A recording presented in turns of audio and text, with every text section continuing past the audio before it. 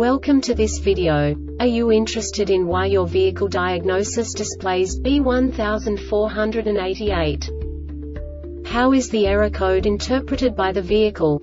What does B1488 mean, or how to correct this fault?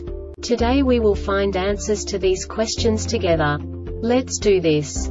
First, let's look at the history of diagnostic fault code composition according to the OBD2 protocol, which is unified for all automakers since 2000. We divide the electric system of automobile into the four basic units. Powertrain, body, chassis, network. This distribution is defined in the first character code. If the second character is expressed as zero, it is a standardized error. In the case of numbers 1, 2, 3 it is a more prestigious expression of the car-specific error. The third character specifies a subset of errors. The distribution shown is valid only for the standardized DTC code. Only the last two characters define the specific fault of the group. Let's not forget that such a division is valid only if the other character code is expressed by the number 0. Our website airbagreset.sk produces useful videos for you. You do not have to go through the OBD2 protocol anymore to know how to troubleshoot any car breakdown. You will find all the diagnostic codes that can be diagnosed in a Isuzu vehicles. Also many other useful things. The following demonstration will help you look into the world of software for car control units. You unbelievably can move the video a bit further.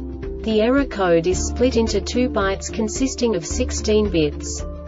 One bit is the basic unit that each computer works with. The bit has two logical states.